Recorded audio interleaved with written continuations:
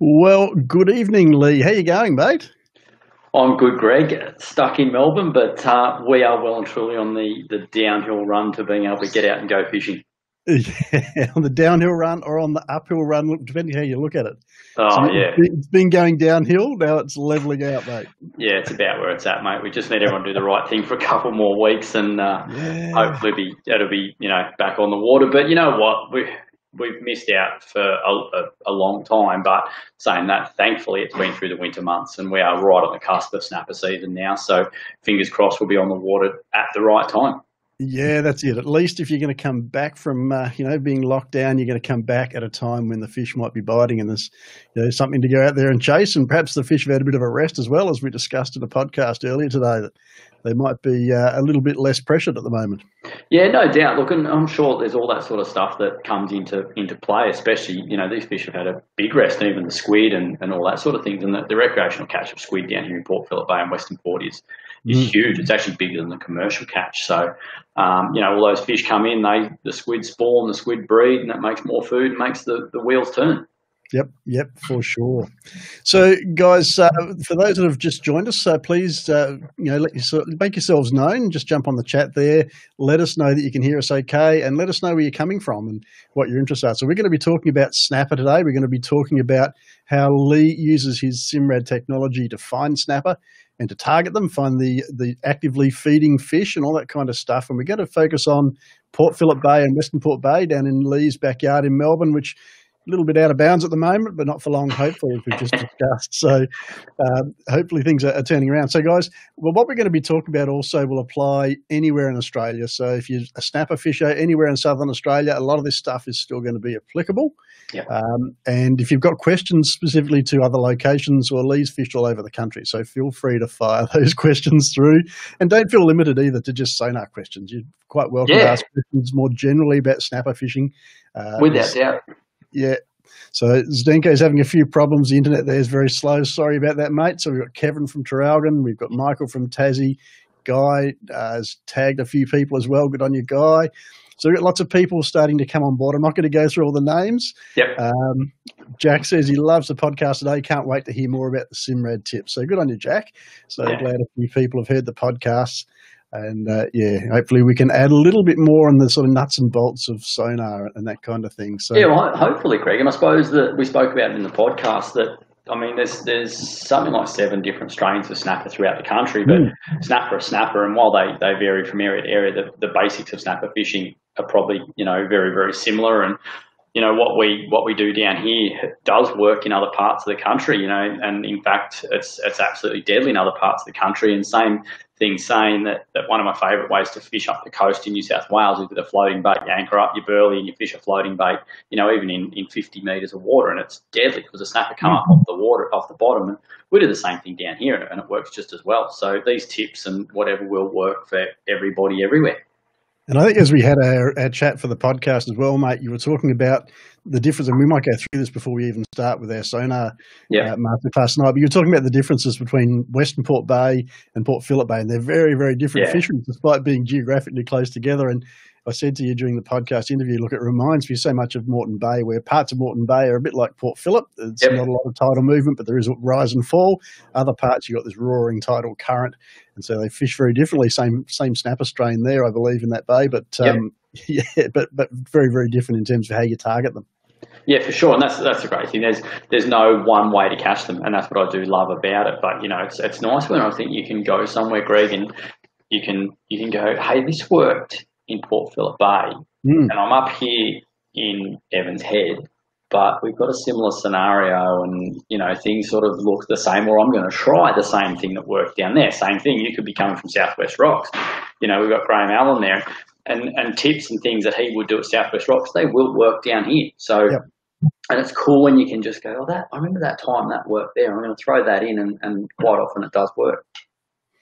Yeah, well, let's, before we do start off, mate, let's have a bit of a chat about your backyard. I know a lot of people that are coming in tonight are going to be very interested in the Melbourne scene.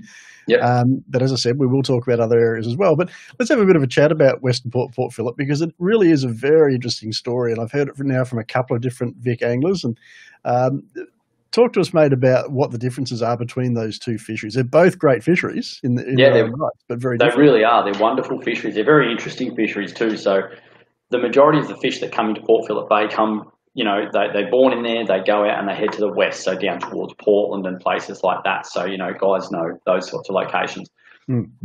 Something like 70% of the fish that come back into the bay are from that west. Whereas once you start to go to Western Port, you get a bit of a mix, but there's definitely more of an eastern sort of strain. And then when you go down to places like Welshpool and Lakes Entrance, you've got a genuine eastern strain of snapper or an eastern East Gippsland strain of snapper, and they do look different. It's really quite hmm. interesting that you can see a photo of a fish and you can go, I reckon that's come out of Welsh Pool or Gippsland, Yep, or I yep. reckon. So, but what's interesting, Port Phillip Bay, if people don't know, it's one of the biggest bays in the world.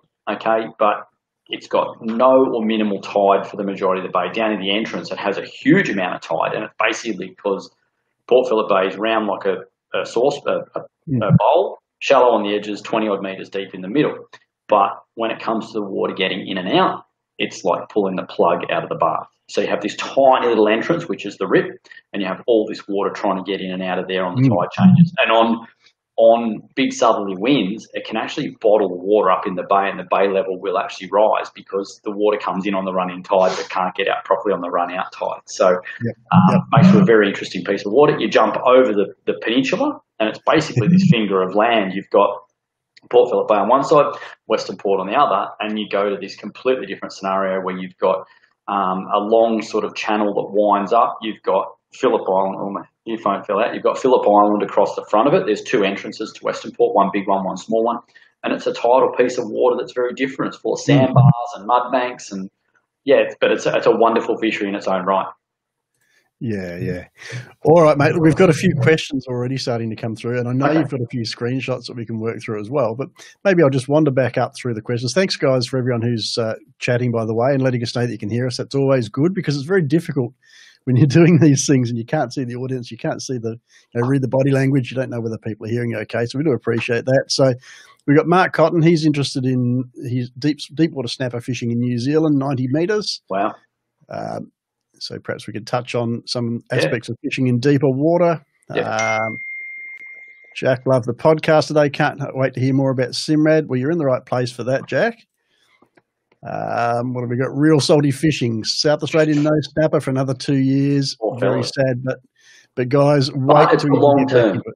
It's the Wait long till you get back into it. Yeah, That's right. It's the it's you know it's a two years is a long time, but I think the the state of their fishery, um, it, it was a necessary thing to be done, and fingers crossed it, it will make it better than ever. Yeah, absolutely. And look, it is is tough. I mean, I, I do feel for you guys, but also I look over at Western Australia where there's been some fairly tough laws put in place, and the quality of snapper fishing over there now is just Yeah. off the planet. So, plenty to look forward to there. So we've got um, Andrew Lorriman from Port Stephens who's wanting to know the best way to target snapper on slow jigs. Yeah. Uh, I don't know if, if you got any screenshots in particular that Yeah. might talk about Yeah, that. we do. So the, the great thing about snapper, Greg, I think, is that you know for, for a long time and growing up, even as a kid, you thought they were such a bottom feeding predator that mooched Mm. around and didn't do a lot. They are actually the super predator, quite a super predator. Yep. You know, they're a big, strong fish with a big, strong mouth, and they can eat everything from crabs and mussels and oysters off the bottom through to chasing and chowing down live slimy mackerel, no problem at all. In fact, one of my favourite baits in Gippsland is a big slimy mackerel. Like I'm talking not far off the size that you will use for a marlin bait. Right. Um, and Yep. when they eat them, they eat them. Like, and, and there's, I remember seeing some phenomenal footage from years ago when Matt Watson had one of his first videos that came out of snapper fishing in New Zealand, and this this 20 odd, they had underwater footage of 20 odd pound snapper just eating a live salmon, and it was brutal the way they attacked them, and that's just how they do it. They're they're quite a predator, and you know, with our good electronics these days, mate, like I have no problem at all marking snapper sitting 10 meters from the surface in 50 meters of water. So it's changed the fish. Uh, it, it's a case of realizing that they're snapper, I think, isn't it? Because I think for, for a lot of a lot of years, snapper fishers would go past those fish that were sitting mid water, and they'd be targeting the stuff they could see down the bottom, assuming that maybe it was kingfish or Yep. you know some other species was up higher in the water column, and it's actually snapper.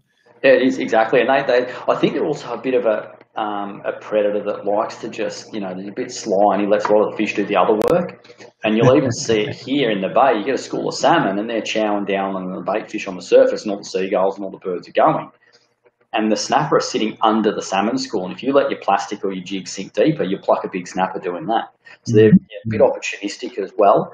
Um, and the great thing is that nowadays with this slow jigging, and obviously soft plastics are just phenomenal for catching snapper, especially up the coast. But jigging is just such a good thing. And there's there's a couple of factors that I really like about slow jigging.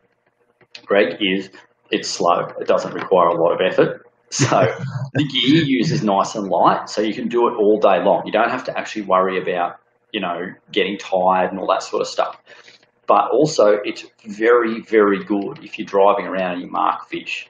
And in fact, I've had some great fishing up off Coffs Harbour two years ago where I was literally driving around an offshore reef system and you'd mark a ball of bait. You didn't even have to mark the fish, but if you marked a ball of bait that was tight, you know, you'd drop your jig straight down and you'd have your jig ready. You just wouldn't have it in a rod or you literally have it in one hand driving around.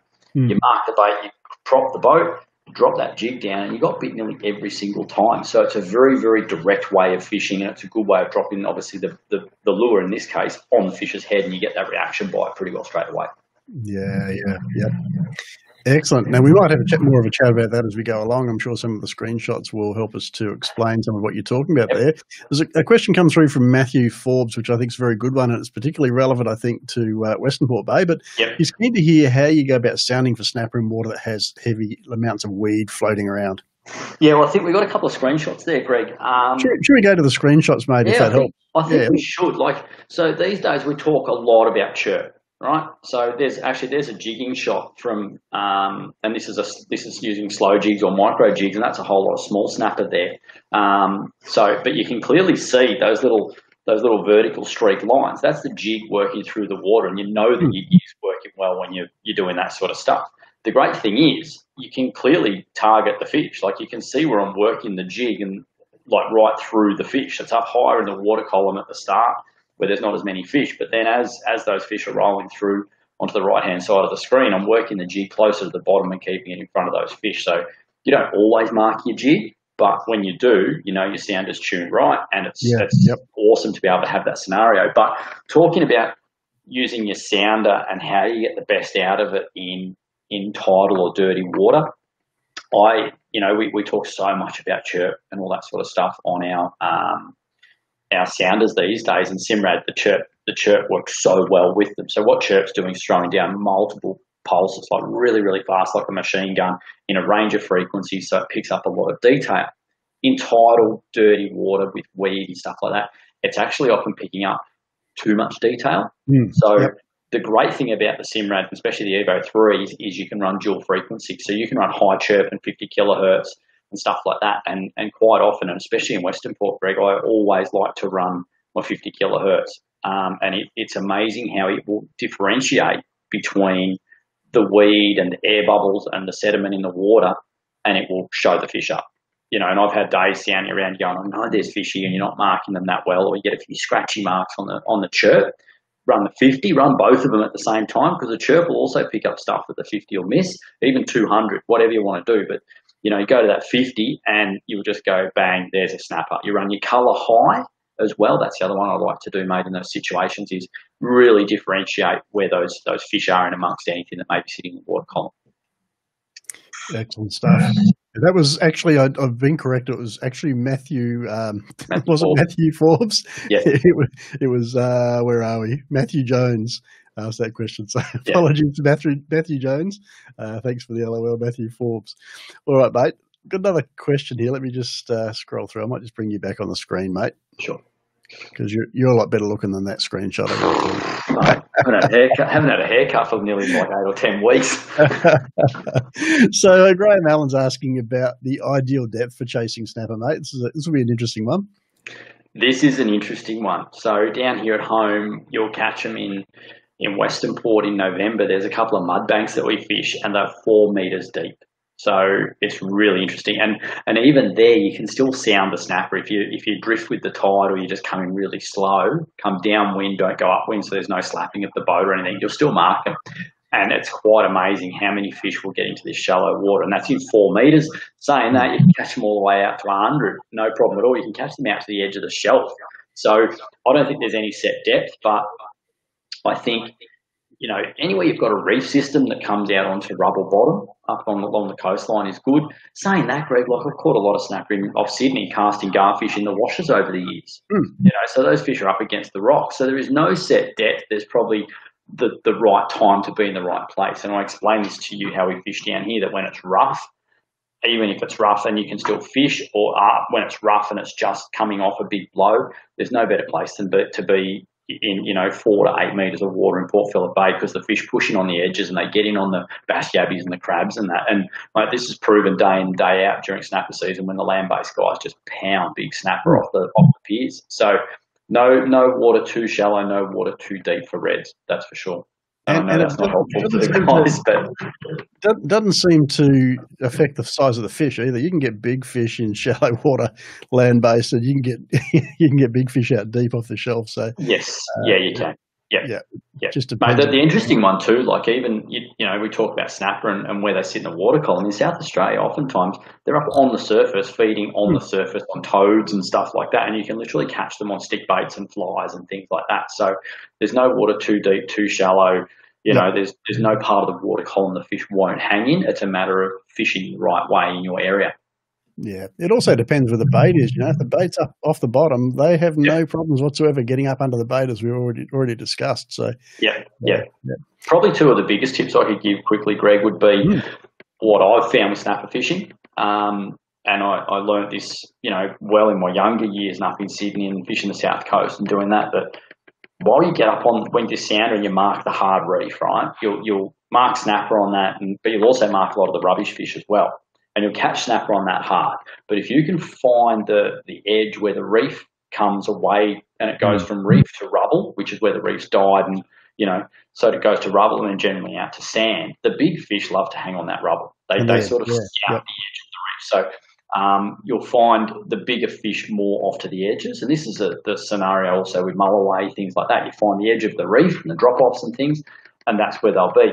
The other one is that that's interesting is oftentimes the bigger fish sitting higher in the water column. Okay, and that's for whatever reason they're more of a predator. They can move around better. They can eat bigger bait. They can do all that. And and this was proven very very clearly last year in Evans Head with a, a good mate of mine, um, Sam Owen.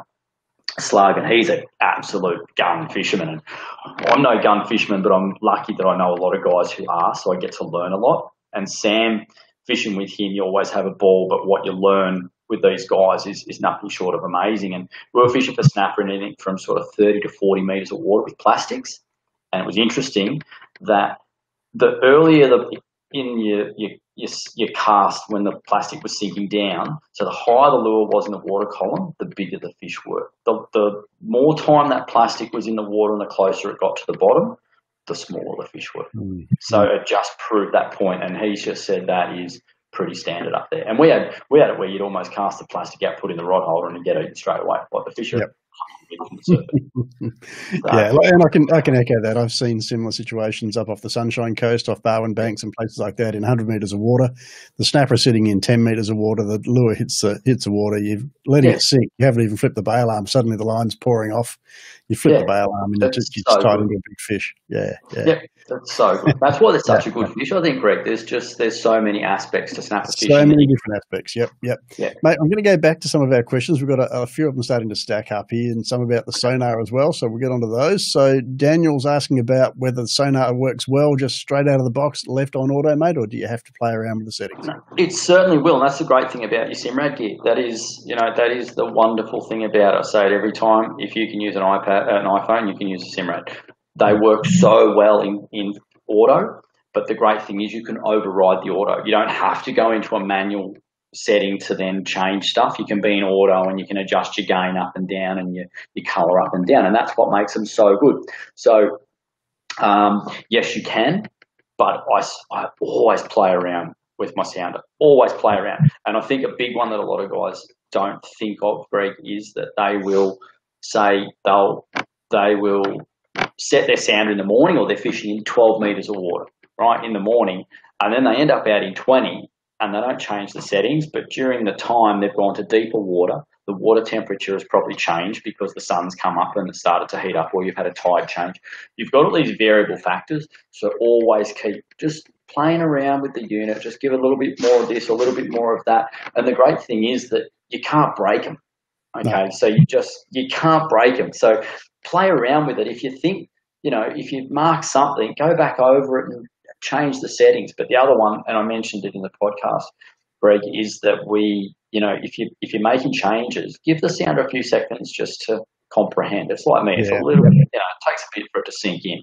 So you know, just give it a couple of seconds. That's all it requires, but don't just adjust the gain and then go, no, that's no good. Adjust the gain, no, no, it's so good. And especially more so you color and stuff, like just give it a few seconds to process and then you'll get the best picture. I think you suggested in the podcast maybe 30 seconds. Yeah, especially in deeper water. Catch up. Especially in yep. deeper water. Yeah, yeah, give it 30 seconds or so. So yes, me, you can eat that. My kids are my kids are making the most of this opportunity, Greg, by grabbing lollies, knowing that I'm not going to stop them and cause an argument so, um, so yeah, they're, they're milking it for all it's worth. Um, yeah, but yeah, yeah, so in that deeper water, especially, mate, just give it a few seconds to, to let it, you know, just get that right picture. That's for sure, and and you will so much more. If you want to go into your manual settings, then you'll get even more out of your sounder. But yep. it, just to start with, play around with those auto settings. Excellent. Now, a question from Matt Hanson about whether you use scent on your deep slow jigs for snapper, and do you like the glow models? I do like a bit of glow on stuff for snapper, and even down here in mm-hmm. Western Port on our bottom baits and stuff like that, I do like to run a glow bead or something like that. The other one I've been doing a lot of lately, Greg, is getting the Black Magic Snapper Snack, which is like the Snapper Snatcher, so it's a flashy attractor, but the Snapper Snack's basically got the skirt like those um, Lucanus style jigs. Oh, yeah. Yep. Yep. I, they come on a paternoster rig, and I chop them up and I put that skirt on my leader, and then that so that skirt then sits down just over the the hook and the head of yeah. my bait, and they've got glow and stuff in them. So definitely mm. a bit of glow. And there, there's no doubt scent works. I mean, look what Gulp and stuff like that does. So there's absolutely no doubt that scent works. And I do like to put a smear of, of you know scent on my jigs. That's for sure. You know, because the the fish, I think they sometimes just come up and look at it, and by the tentative bite you often get on a slow jig, there's there's no doubt a bit of scent, and especially because you can rub it into those tinsely sort of hooks that you get on them, and it stays on there quite well. Lee, just to go back a step, this I'm going to indulge my personal uh, curiosity here, but going, going back to the glow, I, I, have the same experience with Snapper. But I, what I found is I played around with soft plastics that were the whole, the whole lure was luminous, and I found yep. that I didn't get very good results with those. But just little splashes of yes. of lumo color on the on the lure work really well. Has that been your experience? Yep. I had a similar conversation with Dick Passfield about barramundi a while back. He said the same thing. Really, you had these you had these lumo lures Barra wouldn't touch them. He coloured most of them in black, so he just had some Lumo patches and stripes yep. and bars and that sort of thing, and they love them. So, yeah, is that, that the same with? Oh, I think, yeah, I think so, mate. Definitely, mm. definitely. I think mm. you know it's as simple as a glow bead above your hook, yep. like just something, just that little tiny bit of Less something to arouse their attention. You know, it's the yeah. same with UV, massive on UV, and I spoke about that in the podcast. Yep. UV, snapper, see it, flat stick, and and a good UV lure will just have little splashes of UV, like the throat of the lure or a stripe or something like that. It's not the whole lure necessarily, mm. and it really does make a difference. Mm. Excellent. All right. Uh, what do we got here? Another question. So Matt Bowman is asking, do you run side scan, uh, side scan and down scan in Western yep. Port when you push up the channels? Yeah, I certainly do. I certainly do. Um, it's just a game changer, and it's a game changer for several reasons. So a finding fish is one part of it, but I love it for finding the structure. And in Western Port, you're talking about kanji beds and stuff like that. And and as you're running up the channels, it's mud bottom, and there can be patches of kanji or rough bottom that are the size of your lounge room. So not overly big, you know, not overly big patches.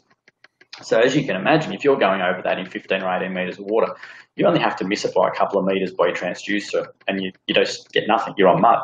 So that side scan is absolutely amazing just to go, oh, there's some rough ground 20 metres out to the side, or there's a school of snapper, or anything like that. Um, and those snapper, they also, in a lot of areas, in a lot of parts of the country, you'll have channels, you know, steep walls, and it won't matter if it's snapper or barramundi or kingfish or, you know, whatever, mangrove jacks, you run along and you can shoot your, your sonar out to the side there and be able to see the fish sitting along the edge of the channel and stuff like that. And it's it's such a good way to fish, that's for sure. And especially when you've got fish moving up and down in tide too, Greg. You know, that are traveling with the water, that that's a big help. Yeah, yeah. Now I got a great question coming here from um, from Mark Stewart, and it's about how you tell whether fish are active and aggressive and feeding, or whether they're shut down and you know don't bother throwing a lure at them. Mate. Yeah, okay, that's a that's a really good one, and you can learn a lot, and it's just time on the water that will teach you this sort of stuff. So, um, obviously, the, the key one you want to look for, and the one I, that we all get excited by, um, is if you've got bait, and if that bait's stacked nice and tight, and you mark a fish sitting up on it, then that's a fish that's feeding. The other one I find though is when you get that um, when you get that very very you know perfect boomerang and it's quite steep, you know that's generally a fish that's not moving fast. Okay, the more stretched out it is, the so the more elongated that the boomerang is, then then probably the more that fish is moving around. Saying that, when a snapper's up in the water column he's, and there's bait nearby, there's a fair chance he's feeding. In Port Phillip Bay, when they're on the bottom, um, it's very much like cows grazing on a paddock. They're just cruising around, just doing their thing. Um, so we often look for the traditional bait fishing method. You're looking for fish sitting hard on the bottom because they're they're looking for scallops and mussels and crabs and, and all that sort of stuff. So, um, but yeah, certainly if you can mark that sort of more flattened out arch, then there's probably more chance your fish are moving around. But for me, Greg, I just love marking them sitting on bait. Well, I love the analogy you used in the podcast today as well, Lee, and you, you mentioned again just now that you know snapper are like cows in a paddock. If they're all packed yeah. together and tight down on the bottom, they're probably not feeding yep. or not not feeding aggressively.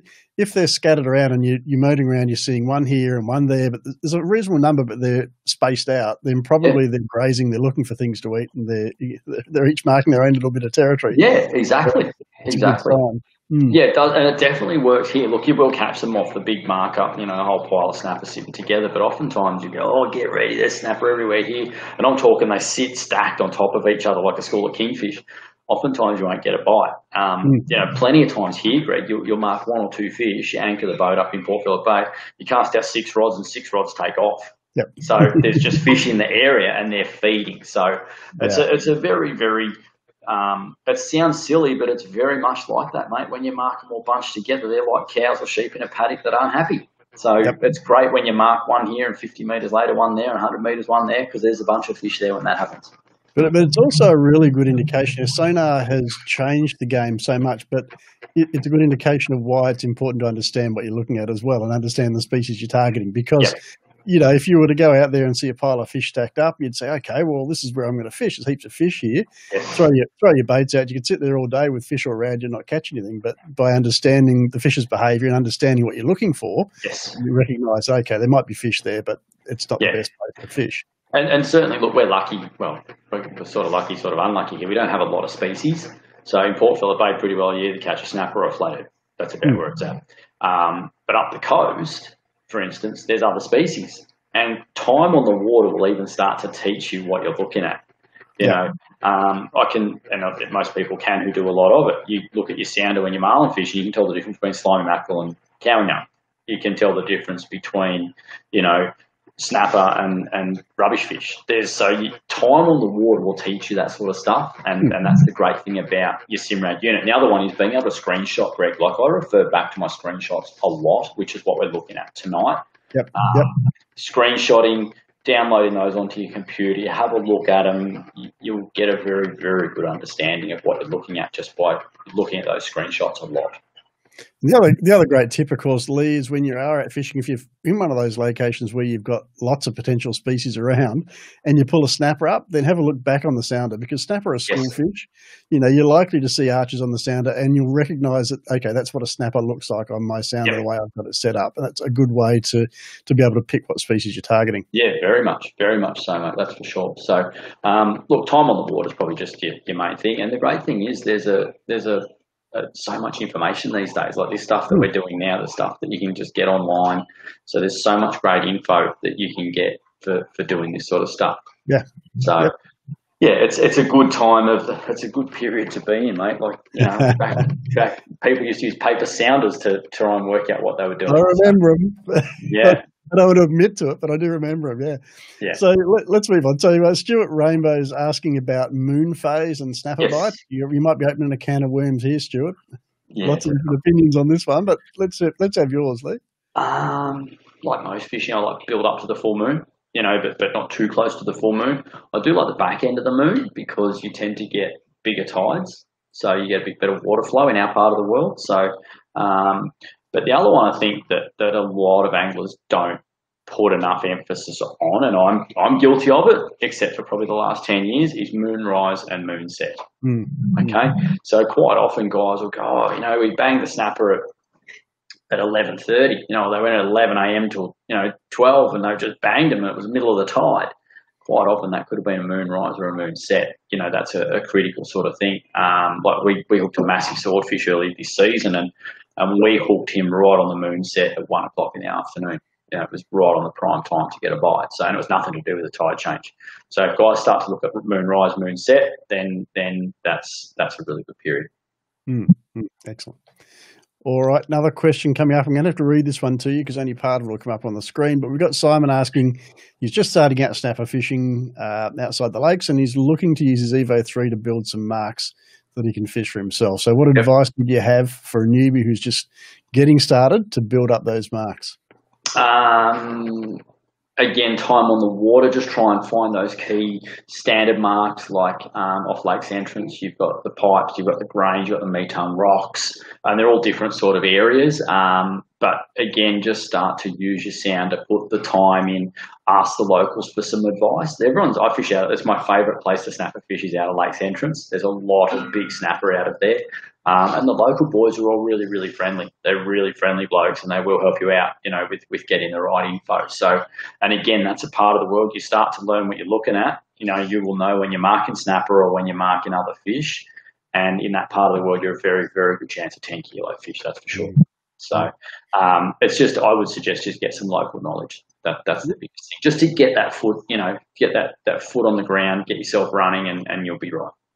The, thing that I'd suggest also, Simon, is that you know a mark is, is just a guide.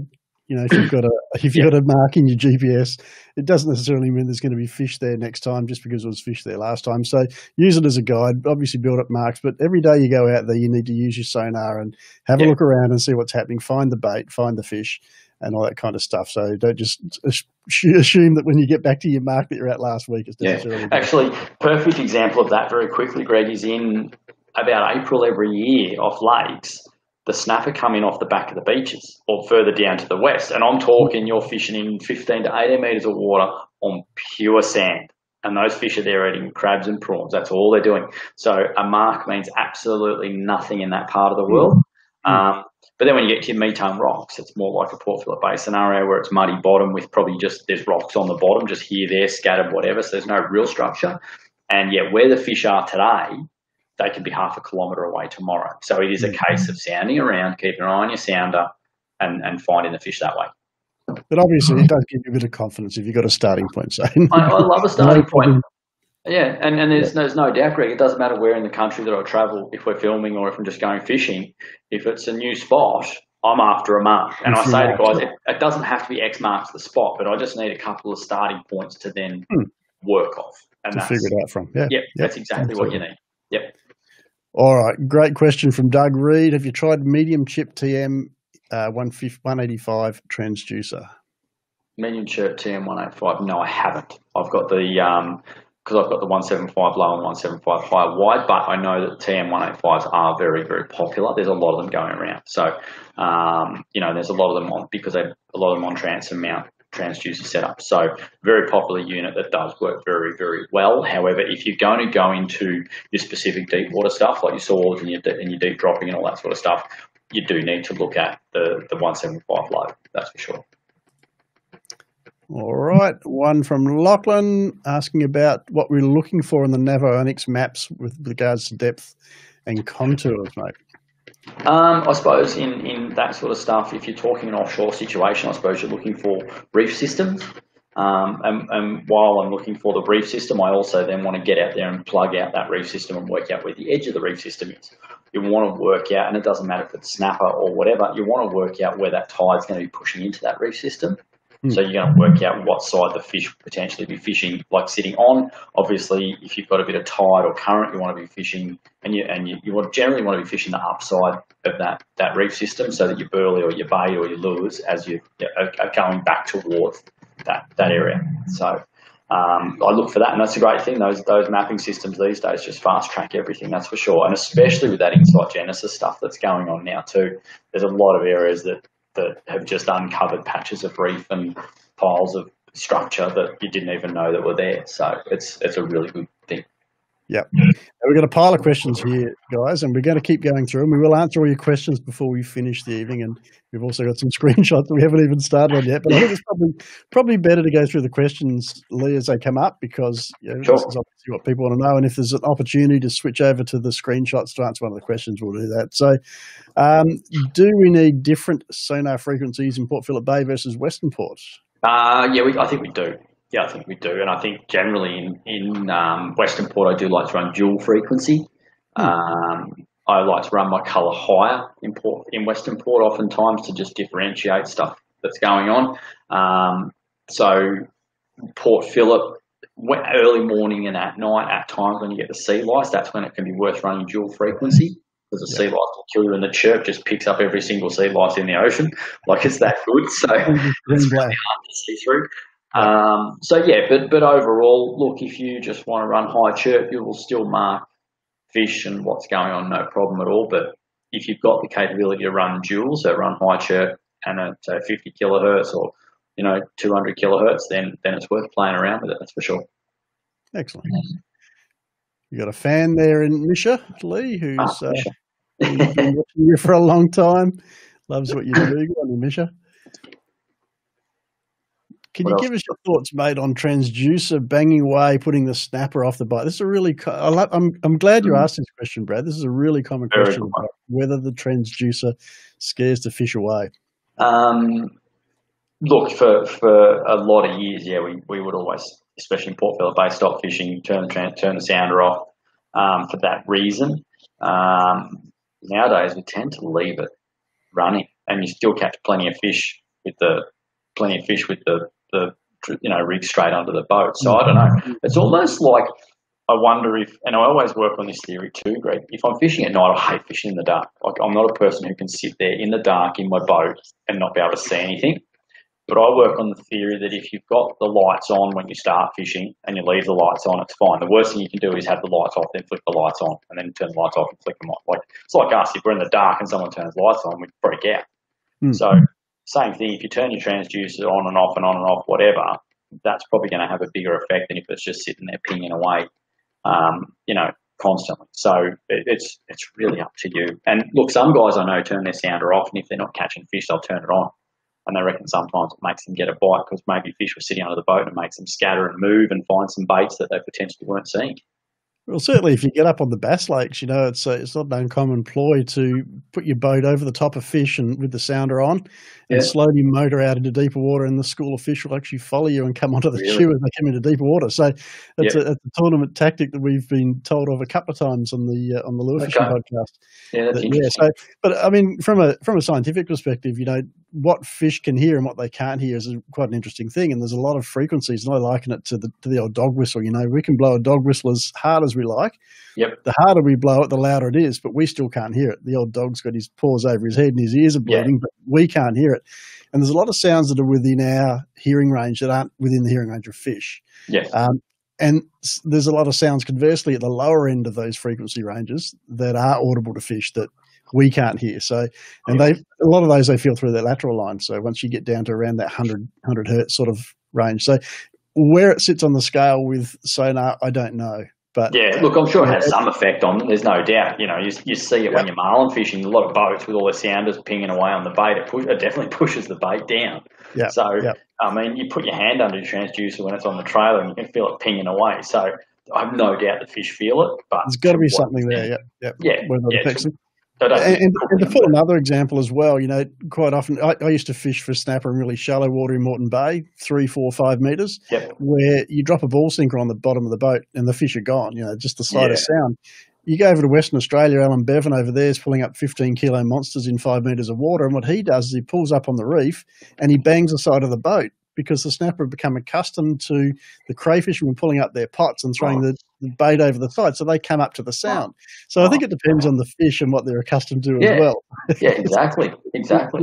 Yeah. Probably no easy answer to that one. So, No, there's sorry, not. Look, sorry if you haven't answered your question, Brad. We probably Yeah, sorry, Brad. We just we went round in circles on that one. so. but yeah, look, I think I mean personally, I think experiment, mate, and see what see what happens. Yeah, But, um, yeah. The biggest thing to watch, and this is a this is a hot tip for people. So these days, if you're running your your Simrad units and your big and any sound of it, if you're running them with big transducers and and you know all the gear, they suck a lot of power. Mm. Okay, don't sit there on anchor for four hours with your sounder running. Okay, because you will flatten your batteries. Or make sure you switch over to one battery. On the dash of my boat, I've got a couple of Nava battery gauge switches and as long as the batteries are on, I can see where my battery volts are at. Um, and it's a really handy thing because while you're fishing, you just constantly turn around, look at the dash, obviously look at the sounder, and you, you monitor these battery these battery volts. And it's yeah, plenty of people, plenty of people's motors haven't started because they've left their sounders running for too yeah, long. The battery to get home, guys. Yeah, exactly. So be aware of that, and, and a lot of guys fall for it when they get these. You know, they might jump out of a, a you know a smaller unit, and they finally bit the bullet and gone and bought themselves like a 12 inch Simrad and a big transducer and done all that, and they don't realise the power that those things suck when they're running. So Yep. keep that in mind. Absolutely. Question about barometric pressure and whether it makes a difference to fish being on the bite or not. So, Michael, that was actually something we talked about in the podcast. So, I might refer you back there. But Lee, let's give him the give him the Yeah, deal so- here and now. Definitely, it definitely has an effect. There is no doubt that it has an effect, and a, a high barometer gets the fish to feed well. Low barometer generally shuts them down. Um, saying that, the only time this is different, it seems, is for guys land-based fishing. You know, where the fish are in super shallow water, and those fish that are there, they're there for one reason: they're there to eat. So, but generally speaking, out in normal depths of water, from 10 to or 12 to 50 metres of water, barometer has a huge effect. And they reckon that what it is, the low air pressure makes their swim bladders increase. So they float higher in the water column and they definitely sit high, like just sitting higher in the water column. They might be two, three, four, five metres off the bottom. And because their swim bladder's increased, it's pressing, keeping their stomach small. There's not the room and they don't feel full.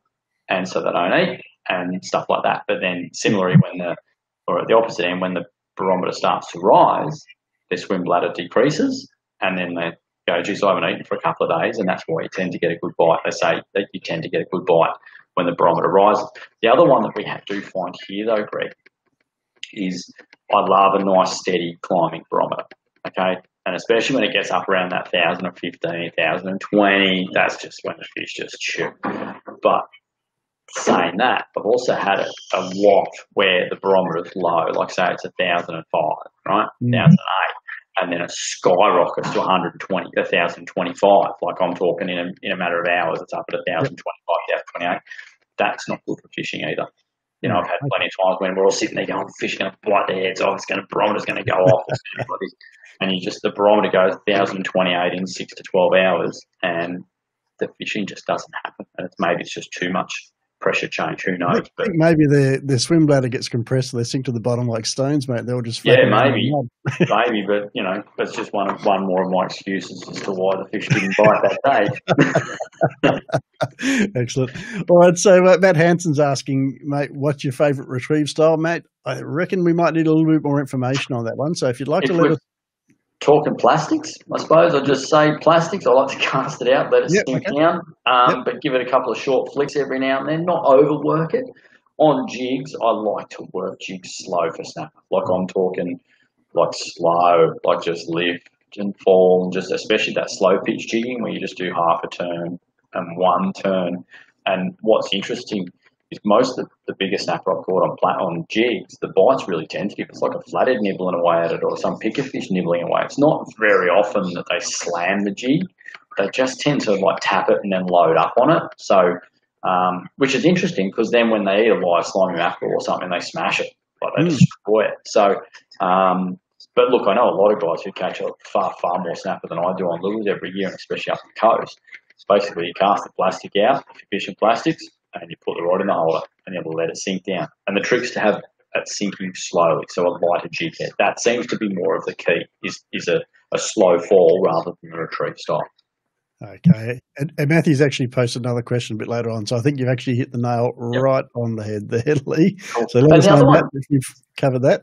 the other one too, though, Matt, is if there's two of you fishing and you're both jigging, have one guy fishing a slow pitch jig, you know, fishing really slow, and have the other guy fishing, you know, more of just your, your smaller flutter jigs, but fishing that one faster because they vary day to day as well. There's no point both people fishing the same methods.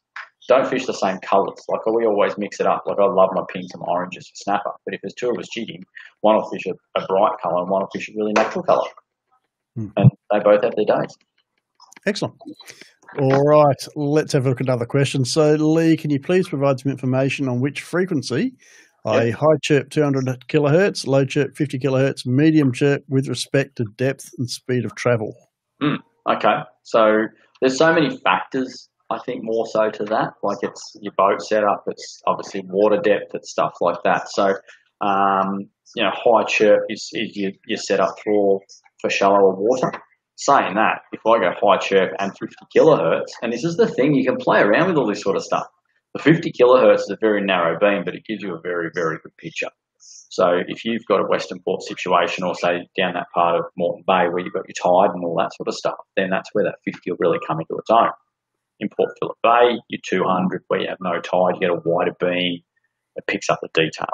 Mm. So um, you're going to find different scenarios where it's all going to be relevant. But generally speaking, your low chirp 50 is better for deeper water, your high chirp 200 for your shallower, and then your medium is your medium.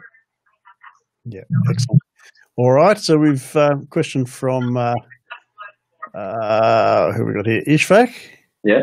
Uh, what do you think of Lure-Cal? I think we've already touched on that, but you might want yeah. to elaborate, Lee. Yeah, look, I like my pinks and my oranges and stuff like that, but it's going to vary where you whereabouts in the country you fish. I think. Mm. Um, I know a lot of guys love white up up yep. the coast, up in New South Wales and stuff. White's a great colour, and I think snapper are a bit of a visual fish as well. Like it definitely seems that way. There's something that you know if it stands out, they're probably a little bit inquisitive on that. So, um, like my go-to, Greg, if, if it's a lure, it generally has a bit of pink in it for snapper. They seem to like a little pink in it.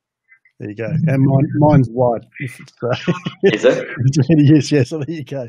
Yeah. So, uh, question from Stephanie made about whether you do tutorials on boat.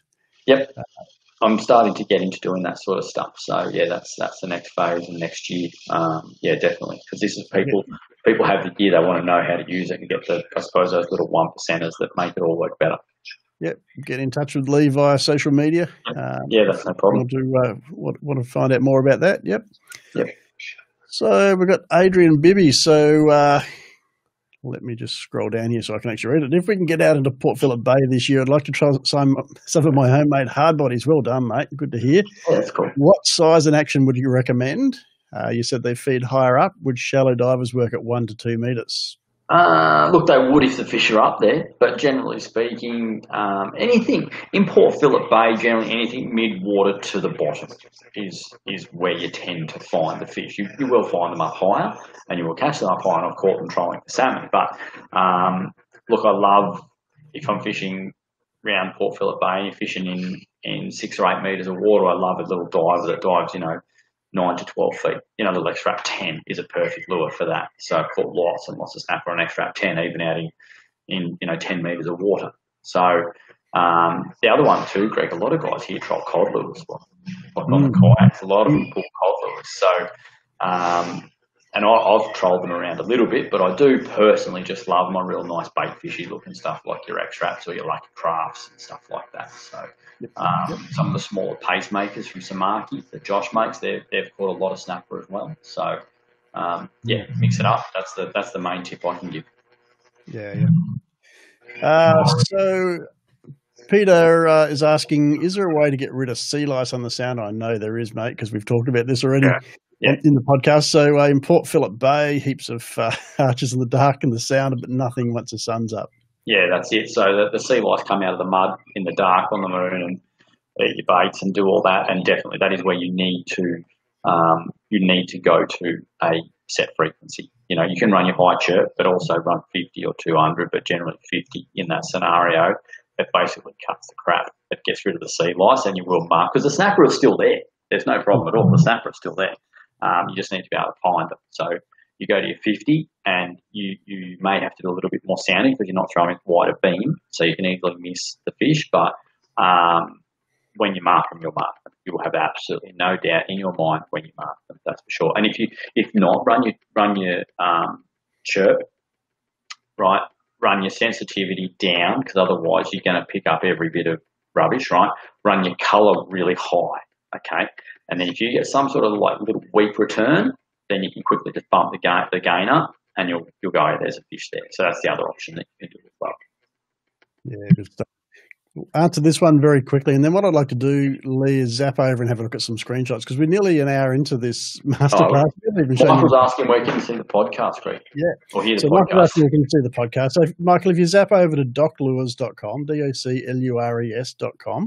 it's episode 275. So it'll be the top one on the list there. Um, and Lee and I have a pretty good chat there about targeting snapper in Western Port and Port Phillip Bay. So lots of great information there. So, Lee, let's pull up one of your screenshots because yep. uh, we need to give you a little bit of a breather for a second. No, you're right. And, uh, and have a bit of a chat about some. I'm good at talking. Yeah. so am I. So am I, mate. Surprisingly, yeah. So, uh, is this is just a brag shot, mate, or what are we? No, this is so. This is my mate Tim. This is out of Port Welshpool or Corner Inlet, and. a couple of things going on here. That is a classic Gippsland looking snapper. Like it's got the nose, it's got the big mm. tail, the big mouth, the whole lot, and, and the fish does as well. Um, so no, that's that's like a classic fish. That was about nine kilos. That one. Um, but you'll see too that thing hanging out of its mouth, Greg. That's one of those like rubber skirts that I was talking about, mm. the snapper snack. So um, yeah, so that's just you know that's what everyone wants to catch. I remember as a kid, that's all I wanted to catch was a big snapper and a big mulloway you know, they're just they're just a fish. They look so good when they come up next to the boat. I don't think anyone gets sick of seeing a big snapper pop up. That's for sure. You, you never get bored of seeing that colour when they come no. up alongside the boat, do you? No, you don't. Right. And especially those ocean fish with those blue through their fins and stuff. Yep. They're just the best. Yeah, absolutely. All right, let's have a look at some screenshots here. So, so this is a this is actually off a Lowrance unit. So um, just sort of throw this one in to mix it up a little bit. But you click quickly, you quickly hear um, that you see that there's bait. You'll see that there's bait. Sorry, kids are fighting. Um, so you see that there's a lot of bait here, but then off to the right hand side of the screen, you're actually starting, and there's a few fish to the left, but you're clearly starting to mark um, fish sitting hard in the bait here on the right hand side of the screen. I think I'd also adjusted the sensitivity by that point as well. We're running 50 kilohertz. Scroll speed is normal, and I like to run just a normal scroll speed. The faster your scroll speed, the, the more flatter the arch is going to be. Um, the more flatter the arch is going to be, and also my ping speed is quite high, so that's the amount of pulses that are going down. So um, it's a pretty clear picture. There's a lot going on there. There's a lot of bait but there's also a few fish there, especially that right hand side of the screen. And you can see they're sitting up on it on that bait as well too. They're not actually on the bottom; they're sitting up on that bait, pushing it around a bit. And, and you can also see the uh, the structure or the lack of structure. Obviously. Yeah, totally. Yeah, Port so, Phillip Bay at its finest. Here you've got yeah bait over a, a flat bottom, over a mud bottom. Yeah, and a lot of the bait in the bay is just pilchards and white bait and tiny little yep. bottle squid and stuff like that. So yep. Um, so yeah, and this is this is the thing with Port Phillip Bay. The fish move around, you know, like cattle in a paddock. So you, you need to be prepared to move with them. Yep, absolutely. All right. Well, I like this one. So this one here, so we're running 200 kilohertz, uh, fairly cold water.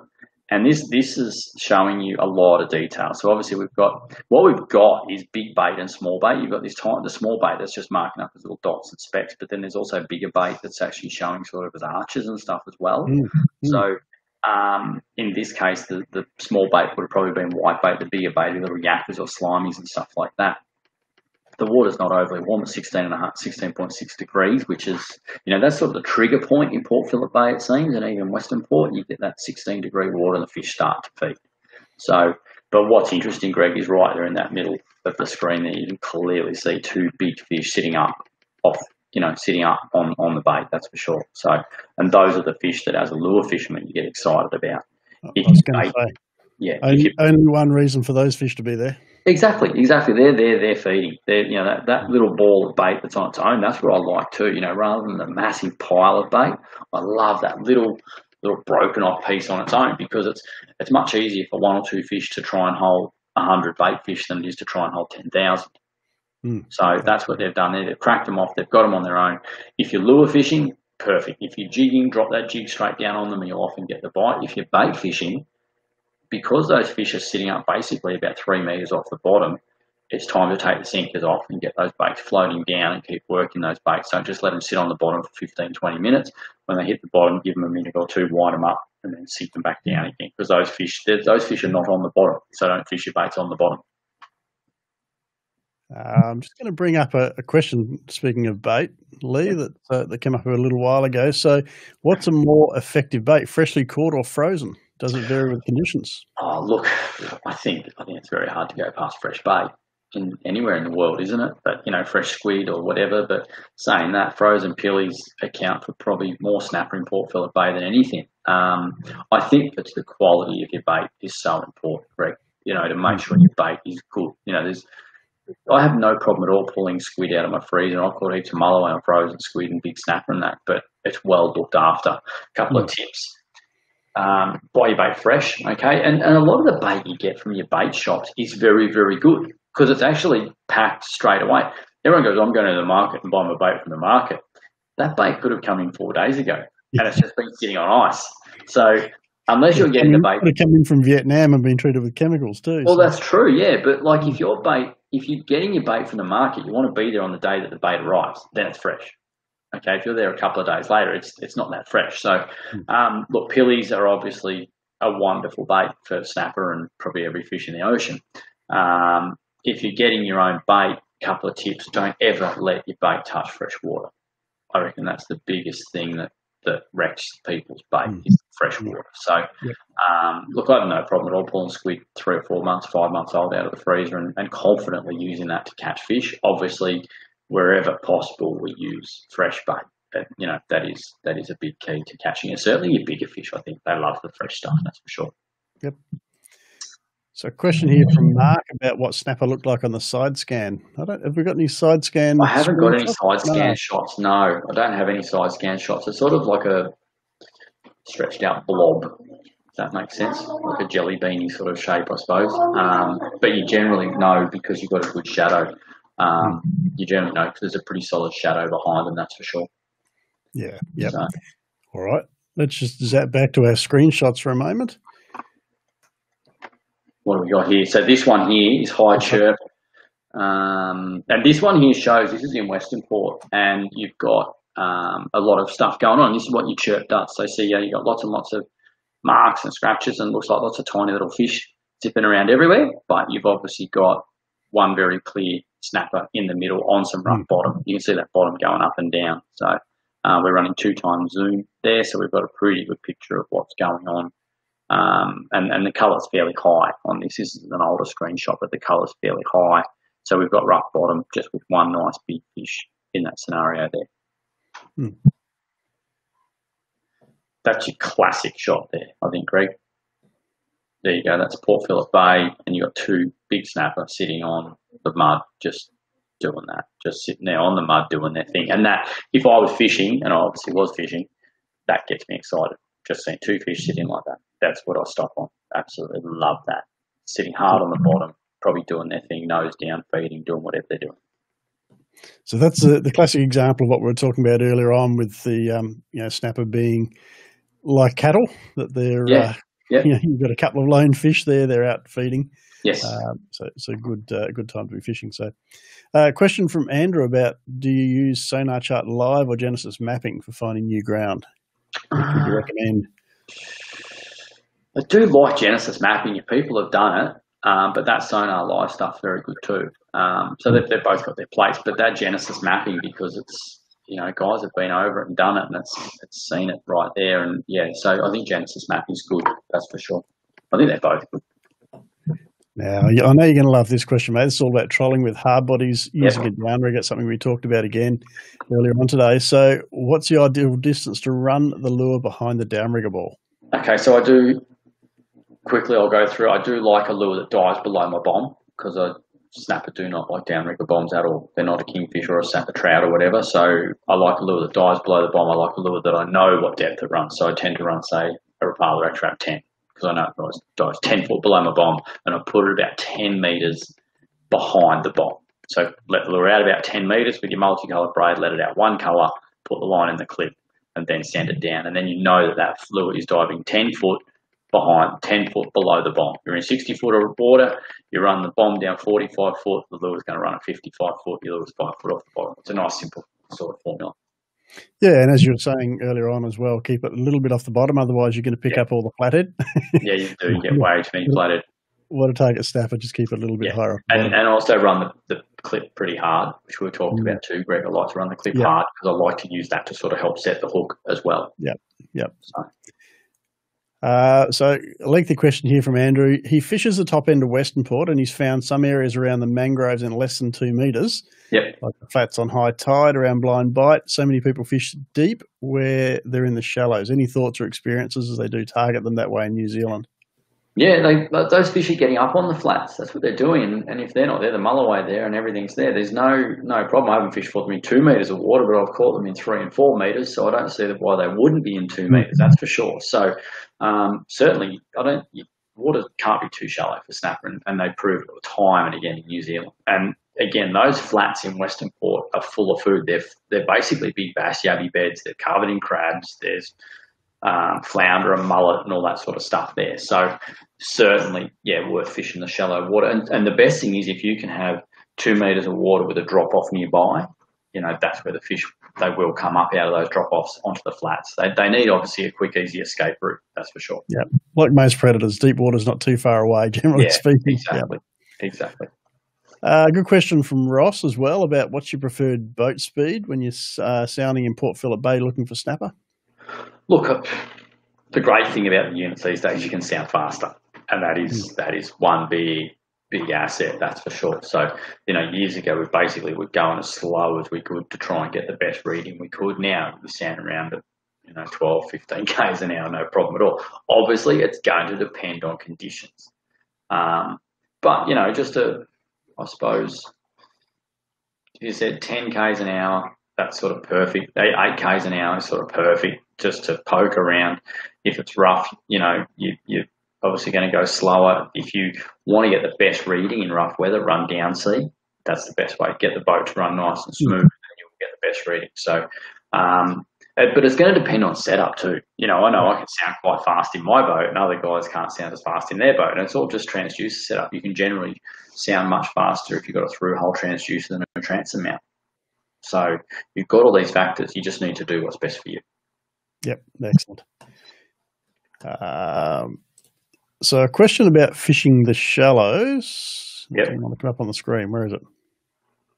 Here we go. So, when you're fishing the shallows to snapper, is it better to drive over an area and sound up the fish, or to throw lures or baits into areas that you haven't been over, so as not to scare the fish? Uh, look, if you can, if you're confident enough to get into your area and just anchor up, do it. Obviously, um, I, I always like to try and though if I'm in shallower water, um, I do like to come in at the best angle. So if I'm in an area that I think I'm going to find the fish, I like to come in, you know, with the sea or with the tide, so that the boat's running smoother and I can have the I can have less less revs on the engine. I can be just in gear, you know, rather than pushing into the tide or pushing into the wind. Um, so I'm making the least amount of noise possible. When I find something, don't go circling around over it and check it again and again and again. Just go, oh, that's it. Mark it on the GPS. Get out of there. Get upwind or up current. Drop the pick or drop, you know, do whatever you've got to do and get yourself in position. All right, Lee. When you when you're trolling snapper, are you um, on the main motor or are you on the electric motor? Uh, no, I'm on the big motor if I need to be. There's a anchor out if I need to be. Obviously, if you've got a smaller boat with an electric, then that's even better. Um, you know, especially jigging too. If you've got your small boat these days, or on the motor guide, you know, and if you can use the anchor function when you mark something, you just anchor and it just sits the boat right there on top of the fish. That's Perfect, so, yeah. so Lee, I'm gonna we've got plenty of questions coming, guys. We we're not ignoring them. We will come back to them, but I'm going to jump over to some screenshots again for just a moment, Yep. um, and, and that'll give Lee a chance while the uh, you know the screens he's not on the screen. He can wave at his kids and and instead of kids kids and all stuff. So, um, uh, but let's have a look at some screenshots, and we will come back, folks, and answer all of your questions before we finish up. So, Lee, what have we got going on here, mate? Ah, Obviously, okay. a couple of good fish here. So this is a perfect scenario. Say Port Phillip Bay, a little bit of structure. um, whatever it may be, probably you know um, one of those native fridges or who knows whatever people tend to drop in the bay. But um, you've got a bunch of small snapper sitting on the structure, right?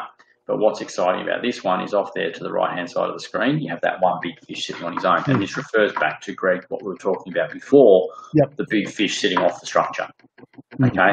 And a lot of guys will drive over the structure and mark little fish like that or mark not a lot and then go, oh no, there's nothing there. What I like to do is basically like a spiral out off the structure and sound around and around and around, getting wider and wider. Um, you know, or do, you know, do passes over it. But I, I'll go 100 meters off the structure and quite often the big fish, you know, will be sitting 50 or 100 meters away from where the, the, the big structure is. So don't, don't think that if you don't mark them on the structure that they're not there. Yeah, cool. Cool. All right. What's this, This all one about? here, this one here is just um, again you've got a bit of a rise in the bottom. You've got so a bit of hard reef there. You've got a bit of scattered bait to the right hand side, but on the left hand side there you've got that column of bait. So this was tiny little slimy mackerel, okay, and you've got two nice snapper pushing that bait. That's what they're doing. So that's again perfect scenario if you're a lure fisherman, but also bait fishing. Um, but you've got a good a good sequence of events here. You've got bait, you've got fish, and you've got structure being and it's natural structure. You can see that sort of rise in the bottom in the screen there. So it's a, a really sort of great scenario to find yourself in. Everything's everything's good. And you've got 17 degree water, which is even better. And I'm guessing that the the tide's moving from left to right on this screen. Uh, suppose so. Well, I'm just assuming the fish and the bait are up current of the. Of the Yeah, yeah, the sure. assumption Yeah. that I've made. Yeah. Yeah, for sure. All right. So here we go. So this is Western Port, 21 metres of water. We've obviously got some up and down bottom, right? So on the left hand, we've got 18 degree water, so it's ideal for snapper, right? We've got on the left hand side of the screen, we've got the high chirp, okay? And you can clearly see there's a lot going on. So the sound, the chirp's just picking up a lot of detail, okay? And while it's marking the fish on the bottom there at the middle of the screen, right? That's it's just a little scratch. We've got 50 kilohertz running on the opposite side, and yes, I've got a two time zoom, but you can see there's not as much clutter on the screen, and you can see there's actually three snapper there. There's not Yep. one, but there's Yep. three. Two clear marks, but then there's also more to the left hand side. There's a vertical, more of a vertical line on its own. That's a snapper. Yep. Yep. So, um, yeah, so that's and that's the. I think that just clearly shows the difference between running your high chirp and your low chirp and variable frequencies and stuff like that. Um, And you can clearly see I'm running a, a fair bit of color there as well, and that fair bit of color is is what's what's helping to define those snapper. That's for sure. So what, what was causing the noise and the clutter and the high chirp on that particular? Oh, look, I think in Western Port, because you've got this tide and stuff like that, I think you've got, um, there's just a lot of factors, Greg. You've got weed, you've got sediment in the water at times, like Mm. it's not generally crystal clear water. There's there's air bubbles, there's just a lot, you know, just general flowing water. I think that creates, you know, those, these high chirp transducers are so good that they pick up all that stuff. I think Yep. that's just part of it. They're just that good. Yep. So yeah, it's a it's a double edged sword, isn't it? You know, It is, yeah, it is. But but it, how good is it that now you can run dual frequencies? Like Yes. who would have ever thought that you could run high chirp and fifty kilohertz? Who would? That's just like it's stupid to be able to do that sort of stuff. Do Game changing, game changing stuff. Yeah, and it's with the press of a button, and you know you can set your screen up. You know, you go into your menus on your setup page, and you just you can actually drag and drop and drag and make your own screens and do all that, and, and I can do it. So it's easy. Uh, you're talking to yourself down, mate. We know you're pretty smart. Ah, All right. So, so Theo's asking, is there anything on the market you can use to wipe clean a transducer screen? So he's got a uh, through hole SS175L or 175i Yep. trans transom mount TotalScan tranny. Yep. Um, I've never wiped clean my transducer with anything other than soapy water. So, um, but you know, it's worth keeping an eye on them. That's for sure. I wouldn't probably use anything harsh on them. You know, I, I wouldn't go putting some harsh chemical. Look, I just find warm soapy water. You know, with a good a good wash and wax is is the best thing for cleaning sounders, boats, trailers, the whole the whole lot. So I just like to, use that sort of stuff. Again, I don't. I wouldn't be putting harsh chemicals on on onto my transducers. That's for sure. There's if there's something particular that's um, clogging up your transducer, let us know because there might be some mm. advice we can give. I mean, yes. I know that you know if you're in the mangroves a lot, often there's that oily sort of film that comes from oh, the yeah. mangroves that can coat hulls and, and transducers. But usually, warm soapy water will take that off if it's you know that, that big a deal. Yeah. Um, but let us know if there's something, and maybe we can refer you to the Simrad guys for some advice if we don't have the answer. So let me just scroll through. Lee, see if we've got some more questions here. So, a question from Clint about what's the best rig for snapper fishing in Port Phillip Bay? Probably most people would run a two hook rig, you know, uh, generally a snell rig, so the two hooks fixed on a leader of 30 to 50 pound, you know, with a swivel and a ball sinker. What I do like to run though, Greg, is I like to run a little ball sinker between the hooks and the swivel, not above it. Okay. Because some weird stuff goes on in the bay, and there's just enough tide that your sinker tends to slide up the line and twist around and do all this weird stuff. So, and also because we run multiple rods and we cast them out around the back of the boat, right? You find that when you cast, if your leader's a little bit long, the ball sinker slides up the line, and you just can't cast as well. But having the ball sinker sitting down onto the bait, it's much easier to cast. You can just basically give it a flick, and it will go much further. So, what length of leader would you have between the swivel and the hooks with that rig? Oh, three foot. Okay. Not long. Not long. Yep. So um, enough though that the fish can, if the ball sinker's down on the bait, the fish can pick it up and, and carry it a small distance without picking yeah, up the weight. Definitely. Using, using pretty small sinkers in Port Phillip Bay. Well, anyway. Look, yeah, we're using pretty small sinkers, and, and even at the point some guys go, oh, you know, sinker or no sinker, you go, mate, the pilchard weighs more than the sinker. Yeah. So, so let's not get too fussy. Um, so yeah, look, generally it's a size one ball sinker. That's about most common size that, that people use. So it's not an overly big piece of lead, but it does help. It does help. So um, I do like to fish baits as well without sinkers as well. So, mm. but generally, two hook snell rig is the most popular in Port Phillip Bay. Okay, cool. Yeah. Uh, so Michael's made a comment that he believes that water with, with, a bit of chop tends to produce bigger fish, and calmer glassy conditions tend to produce less fish. What's yeah. your opinion on that? Oh, look, without doubt, without doubt. Look, you have those glamour days when it's glass calm and you catch big fish, but for the most part, I think most fishing scenarios, rough weather gets the fish biting. I think they lose their inhibitions a bit more. Um, I think it just it changes it generally when you've got a bit of wind, you've got a, the right barometer. It just makes stuff different. The, there's probably the noise as well. There's all there's a lot of factors. There's a lot mm. of factors. But hmm. you know, wind direction has a lot to do with fish biting. And, and down here in Port Phillip Bay, I hate northerlies. Used to always talk about easterlies, and you know, wind from there's fish bite the least down here, but can't stand northerlies, and that's to do with air pressure and stuff like that. So yeah, but generally speaking, a bit of wind is good. All right, I'm going to flick past this one definitely to you, Lee. So, what's the biggest difference you've found with snapper fishing up the coast as far as Queensland compared to fishing down in Port Phillip Bay?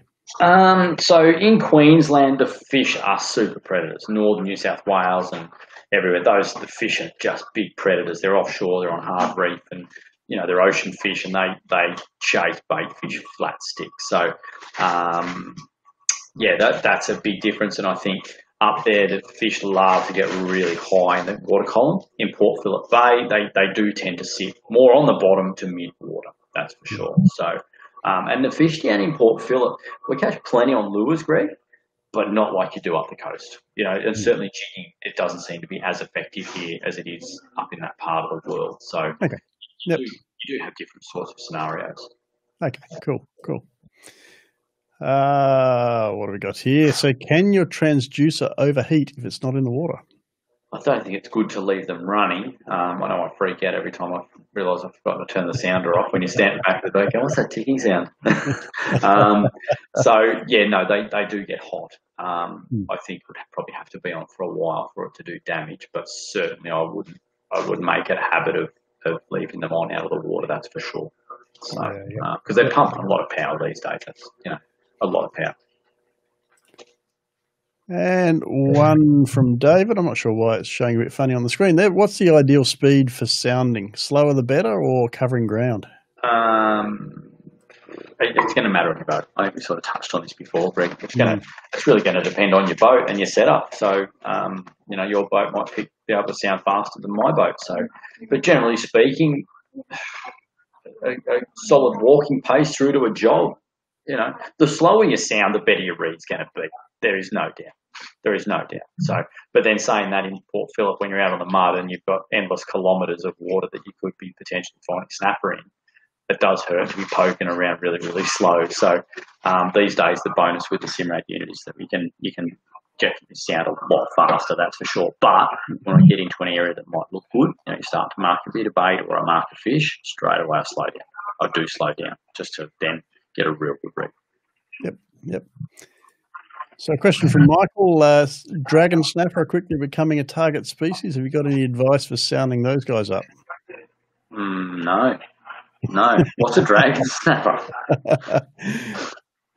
Give us a bit more information, Michael. Where, where are you targeting those? I, I got a feeling there might be a very deep water species, but um, yeah, um, yeah, no, yeah. yeah, I haven't, I haven't targeted them. I don't know anything about them, so. Um, so right. Ray, I know Ray Karuna. Um, Ray's asking how fast would we troll snapper in Port Phillip Bay? The question is, that the answer is slow.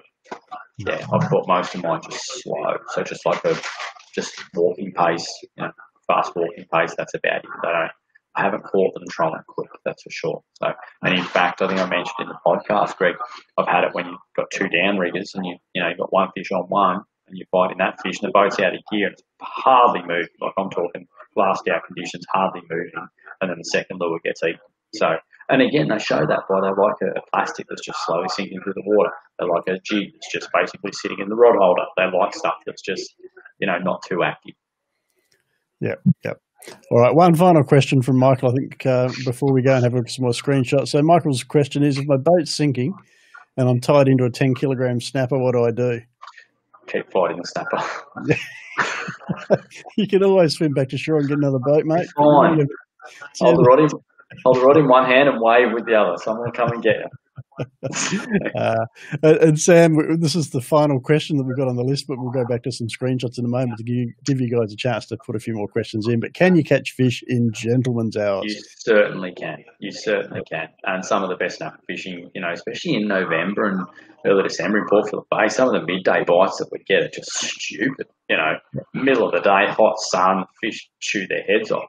Um, and saying that too, again, it comes down to you've got a tide change. If you've got something that's making the fish bite, you know, is the if the water temperature's right, the fish are just active. That's for sure. So um, certainly you catch snapper all day. Dawn and dusk are obviously great. If you're like me, you don't like getting out of bed. I'll take the arvo session more than the morning session. Sometimes they like that warmer water, mate. Yeah, they do, and well, that's a factor as well. Yep, yep let's go. We've already seen this screenshot. Do we want to anything no, more? Keep, going. No, keep, keep moving. All right. Keep moving. So that's just a snapper and a micro jig, and you'll clearly see there. What's interesting with micro jig is a lot of the fish that I've caught, you tend to find the, the hooks, and it's done there. There's one set, one of the hooks is under his chin, and one's in his lip, and and it sort of seems to be a fairly common theme. Um, versus when you're, you know, often a plastic, they smash it and they they suck it right in. Whereas the jigs, they tend to just tap away at them and you know tap away and tap away. And when you hook them, they're they're hooked in the lips. And for this reason, I don't go pulling as hard as I can anymore on my jig tackle because you just tend to rip the hooks out of the fish. So just fight them like a normal fish and you'll be fine. So this one here this one here, Greg, that's a whole bunch of smaller fish. We've got a bit of structure there and just two bigger fish sitting off to the side of them. Um, and again, that's that's a pretty good scenario to find. We've got, although the water temp is very, very cold, so this would have been early or late season. So, um, and again, you'll see I'm, I'm going really slow because I know there's a bit of structure there, which is clearly on sort of the right hand, or the left hand part of the screen. There's a bit of structure on the bottom. Um, so I'm sounding really, really slow, just to probably just pull the boat even out of gear as I've gone over those fish, just to, to get the best read I can and try and get the best definition I can, because it's it's cold water and the fish are not that active. Excellent. So this one here, that one gets you excited. You've got a fish on the bottom. You've got a column of bait that's deep red in colour. So even if I wasn't marking a fish there, which we are, that's sitting up sort of at 16 metres, he's a few metres off the bottom, even if I wasn't marking a fish there, Greg, I'd be pretty excited just by the, the density of that patch of bait there being yeah. red. Yeah. They've been they've been rounded up. They've been squashed together, and it's flat. See how the bait's flat on on the side where the arch is? It's yep. flat. That means that fish is pushing that bait. So the other one I think people need to realise: you don't always mark the fish because he's only got to just be missed by that transducer beam. But if you hmm. mark that, you could go, there's something going on there because of the, the density of the bait. Excellent. All right. Now I have a feeling we might be getting towards the end of our slide deck, mate. Yeah, I think so. I think so. So this one here, Greg, that I've put in is quite simply. So someone asked earlier about could you just run in auto? The great thing is you can run, you can override your auto. So I've got the mm. auto at plus three. Okay, so I've overridden what, what the standards, the, the factory setting would have come into at this scenario. But what's interesting here is we've got one, two, you've got three You've got two good marks there, so two fish sitting very close together. You've got one mark that's okay, but there's another two fish sitting there, and it's a very weak return. So we've actually got five fish there in that in that shot. Those two really weak returns. If I pump my gain up, I would mark them much better. So this is a classic example of, of tweaking your sound. If you see something like if you mark just those two two really light returns, which are there in between the, the more solid returns, if I mark those and I go, I reckon that's a fish, I'll pump my gain up straight away. And yes. also go, oh, there's a fish there. So always be prepared and always be playing around with your, your sounder to get the best out of it in this scenario here. Yeah, yeah. Good stuff. Let me just see if we've got one more. No, that's it, mate. We are done and dusted as far as our screenshots go. Cool. I'll turn that off. I'll bring us back on. We do have a couple more questions, so uh, let me just um, scroll back up through and find them. Um, so, questions about burleying. So, would you use a burley bomb on snapper in? I think that's supposed to be Western Port. Yeah, um, yeah, yeah. I, I, tend to use a thing called a secret weapon. You ever seen those, Greg? The no, red cylindrical thing. It's a trapdoor. So because okay. you got because you got the tide in, in Western Port, um, and I like a chunk burley for my snapper rather than a fine burley in most cases. So yep. these things are a foot long, cylindrical, and basically got a big flap on them. And you load them up, you get about two big handfuls of burley into them, shut the thing. They're, they're heavy, and you drop them down on a rope. When they hit the bottom, the trap door falls open, yeah, okay. falls out. So I really like using those. I really okay. like using those. So, I'm familiar with the concept. I haven't used that, but I yeah, don't really love it. Brand name. Yeah, yeah, yeah. And even even if you want to drop them at midwater, you just stop it. And even in Port Phillip Bay, we use them a lot. If you want to just get some burley out of the boat, we'll just drop it down, and maybe midwater, you just give it a jolt. The door will open, the burley will fall out, and you're away. Yep, yep. So a couple more questions about the burley. I'll bring them up yep. quickly because they're both along the same line. So Adrian's asking how much burley you'd use, and Clint's um, asking question: How often do you burley, and can you over burley? Oh, I think you can over burley because you certainly up up the coast you'll tend to bring a lot of junk, and even in hmm. you know Western Port and, and Port Phillip you can too, but. Western Port and Gibbs and down Welshpool, they start pulling in the rays and all that sort of crap. So um, you start pulling the raising crap. So, um, sorry, the kids are starting to fight again. we've been we've been going a while, mate. They've done no, well. Right. They've done well. So um, you can overburn. Look, like in any burley situation, I just like a good steady stream, or just a you know just consistent. Just you know, um, Port Phillip Bay, I like a couple of handfuls every ten minutes, stuff like that. Um, same thing, Western Port, every 10, 15 minutes, one of those burley bombs, send that down. So um, yeah, don't like to overburley though, because you do often pull in the junk, and, and I know that happens a lot up in New South Wales. Yeah, yeah, yeah. So um, Sam's asking whether you reckon that uh, you Metro fishers will be allowed to go fishing by the 19th of October. But Sam, I did invite um, Dan Andrews along to have a chat about the snapper fishing and when you're going to be able to go, but he's declined, unfortunately. He's really? busy at the moment. Yeah. Mm, yeah. Got a bit on. Look, yeah. I hope so. I, I really, really hope so. So even now, you know, apparently we can put your boat in if you live within 5Ks of the ramp, but then no one can tell me, but then are you allowed to go anywhere you want? Or if you still got that 5k radius, like you know, there's just so many grey areas, and I don't feel like a five thousand dollar fine at the moment. So. No, the fines are fairly hefty. So. Yeah, saying that, I feel sorry for the snapper when we are allowed to go because it is going to be an absolute circus you might want to you know, get to the ramp pretty early that day as well. Right, if you get to, I'll tell you now, down here, Greg, if you get to Patterson River at 4 a.m., you're about two hours too late. Too late, yes. So, All yeah. right. So Adrian's asking about your favourite bait for Port Phillip Bay, mate. My favourite bait is fresh garfish. I love garfish, uh, whole, half, whatever. Saying that, pilchards are great, silver whiting, and it's funny, Greg, how the start of the season, pillies are definitely number one bait when the water's cold, but then as we roll into November, silver whiting and some hard baits like that really start to come into their own. Yep. Yep. So, got one final question, mate, and then we're going to let you go and get your sure. kids off the bed. No, so, right. when you're sounding, is a particular way to go? Do you follow a depth contour, or do you just go from shallow to deep, and vice versa? Um, look, I think it's it's nice to try and map out your area, and it doesn't matter if it's snapping fishing or marlin fishing or whatever. You want to map out where you are. So if we're on a reef system, I want to map out where the high point is on the reef. I want to work out where the edges are of the reef, and then I want to try and work out where the tide's going to be pushing into. So um, that's that's a definite. That is a definite. Take a bit of time to, to mark and use your GPS. You know, use your GPS and anything that you see that you look think looks all right, mark it, mark it, mark it. You know, you'll quickly work out, you'll plot out where the, the good parts are in whether it's a reef or a channel or or whatever it may be. Hmm. And in Port Phillip Bay, as I understand it, mate, the, the reefs in there are very small but they multiply every time there's a hard rubbish collection. They seem to. my understanding. They seem to. I don't know what's going on. There just seems to be like fridges and stuff like that. So, I don't know. Yeah, yeah. Know. So, uh, look, but, yeah, that's just how it is. There's a couple more questions come up, mate, before we before we sure. wrap it up. If you're if you're good to keep going for just a yeah, sure. So, first, I like this question. Uh, I think it's excellent. So, when you're chasing the trophy fish, do you fish differently than when you're chasing the school fish? Um, yeah, definitely. Um, so so trophy fish, you'll you'll often fish through the night, or you'll fish.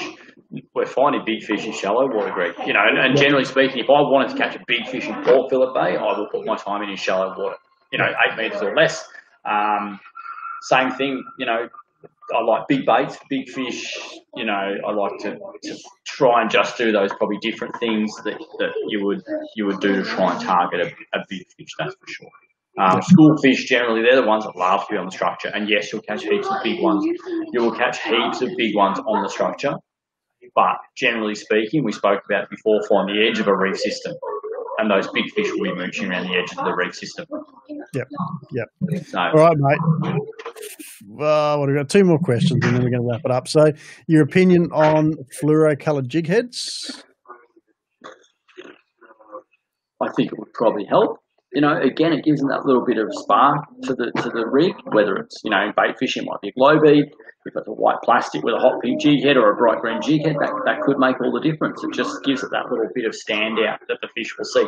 The other one, I reckon, too, Greg, it gives the fish a, a focal point to aim at.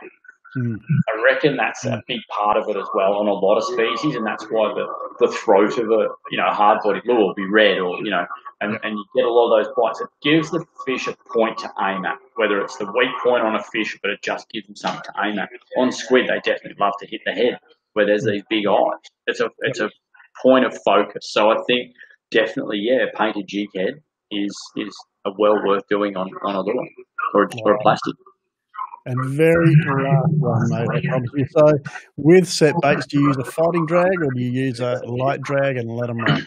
So, in in fishing, there's one thing I can't stand. It's a bit of drag. So, if I'm letting the fish run, I let I have the least amount of drag on him that I can. Open bail, if it's a bait runner, it's backed off as hard as it can go. Okay, if I'm fishing strike drag, I'm fishing strike drag. Like I want to bury those hooks.